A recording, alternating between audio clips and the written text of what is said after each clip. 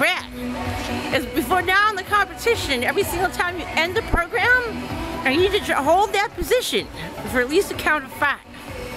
This will enable you to be able to do it when you need to do it, and just like breathing, not having to think about it.